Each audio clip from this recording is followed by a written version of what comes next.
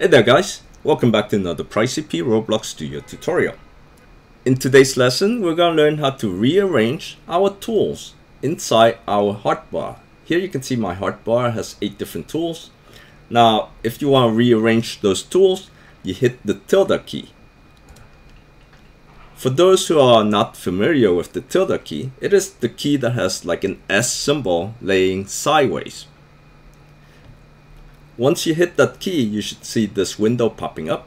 Now you can rearrange your tools.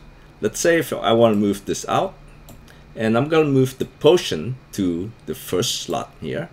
Okay, so now if I close this window, to close this window, you can either press the tilde key again, or you can just click anywhere and it would close the window.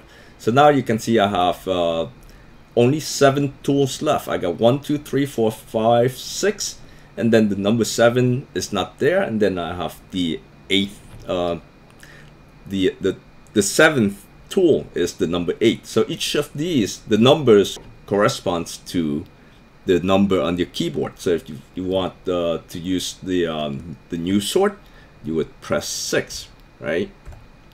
And if I want to fly I would press eight to fly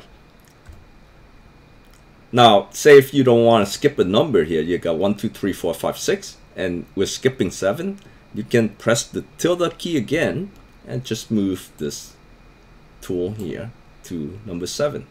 Press the tilde key again, and now we have one, two, three, four, five, six, seven. Now if I press 1, I'm using my shrinking potion.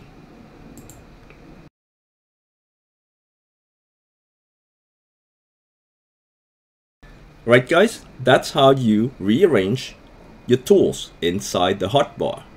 Thank you for watching and we will see you again in our next tutorial. Take care.